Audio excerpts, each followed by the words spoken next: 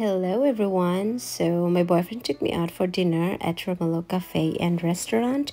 It's a Filipino fine dining restaurant which is located in Kensington High Street, London. So we ordered crispy pata and kare kare. And for our drinks, I had calamansi lemon juice and of course he had beer. And it's my first time here and oh my god that yeah that's my boyfriend.